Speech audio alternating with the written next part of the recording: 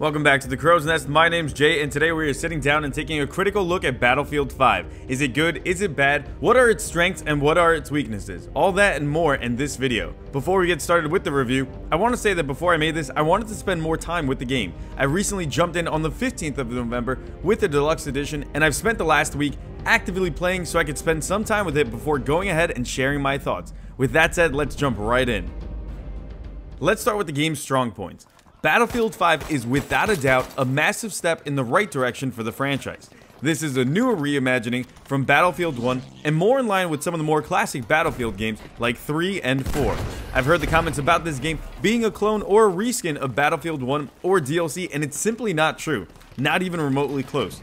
First up, squad gameplay is back at the forefront in this release. The emphasis on team play and communication really shines through, especially when you have good squad mates paired alongside you. Something many people I've spoken to and something I noticed straight away is the pacing of the game. You can't necessarily run and gun like you might have in other Battlefield titles or in other shooters. Battlefield 5 has a much more strategic, methodical, and tactical approach to it. Pair that with a good squad that communicates and works well with each other, and the game's potential really starts to shine. Adding to the strategic approach, the new attrition system in that both health and ammo are limited create a bond between you and other players. In order to succeed, you need to work together and rely on each other. Now, that's not to say that you can't play Battlefield solo. That's not what I'm getting at at all. Solo play is often a viable option and still offers tons of great gameplay moments whether or not you choose to work closely with others. The gunplay is top notch as well. The guns take time to master and learn, and each of the weapons balance each other out in a rock, paper, scissors type of vacuum. Add in skill and mastery, and it all becomes better. The new specializations for both class and weapon customization is a welcome addition to the series as well. Each option does make your class feel different from specialization to specialization and weapon customization. There's no more unused variants like in Battlefield 1. Instead, BF5 does it right. The level design and scale is also top notch. The standout level for me is Arras. The open fields and country roads all leading to a densely populated city center is exactly what I pictured for this type of game. Ever since the Frostbite engine was introduced years ago, I wanted to see a level of detail and destruction set in a World War II environment. DICE absolutely nails that with their levels in this game. The amount of detail and level of destruction is leaps and bounds beyond any other BF game to date. Add in the new fortification system, and the levels become even more complex in a good way.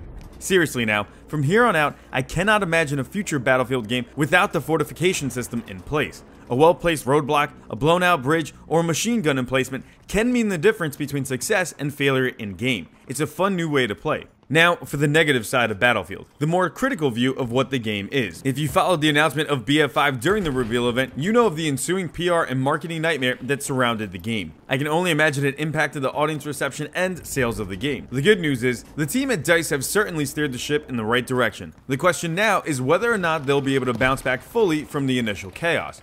Pair that with the initial perception with the Tides of War system, and there's a big question at hand. For those that don't know, DICE is going to be releasing content directly to players in a new live event campaign where the story of World War II will be told chronologically, otherwise known as the Tides of War. That means right now, with the launch of Battlefield 5, we're only seeing a limited number of armies, locations, weapons, vehicles, and maps. We're at more or less the start phase of the war. The iconic locations that many of us have grown up playing and expect to see like Normandy, Stalingrad, Berlin, the Pacific Islands, and more have yet to make it into the game. We can only assume we'll get these locations, associated armies, weapons, and more later on through the Tides of War release. It's worth mentioning that all of these releases will be free. There's no premium pass or paid DLC of maps and expansions. Only cosmetics can be purchased with real money in the future. Something else I can't turn a blind eye to is the amount of bugs at the present moment. The bugs range from comically funny in terms of visual glitches to frustrating moments in game that either range in an unnecessary death to full on restart of the game. I haven't experienced anything too game breaking at the moment with any type of exploit or glitching that's unfairly put others ahead, but the bugs we do have are there and they're present. The one bit of good news in terms of this is that DICE has already been rolling out patches to fix these issues and are both actively taking feedback and still making adjustments. The last critique I have of the game actually has very little to do with the game and more to do with the menu interface. The menu is exhaustive in the sense that you have to go through two or three screens of selections, drop downs, and more just to kind of find what you're looking for. Oddly enough, the menu in previous Battlefield titles were pretty straightforward and got straight to the good stuff when you needed and wanted it. In BF5, I can't help but feel the process is overly complicated. I know many players have been vocal about the issue, and DICE is aware of the feedback. Hopefully, this one gets sorted out soon. In closing, Battlefield 5 has the potential to be among the franchise's best. Improvements to gunplay, pacing, squad dynamics, and more elevate the game to a brand new level. The true test is the longevity of the game with the Tides of War live service. The service is free, which is fantastic in that it won't split the player base, but can DICE keep the content fresh and new in a timely manner.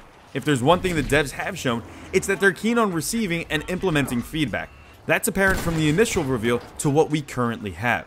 The change is more in line with what players wanted.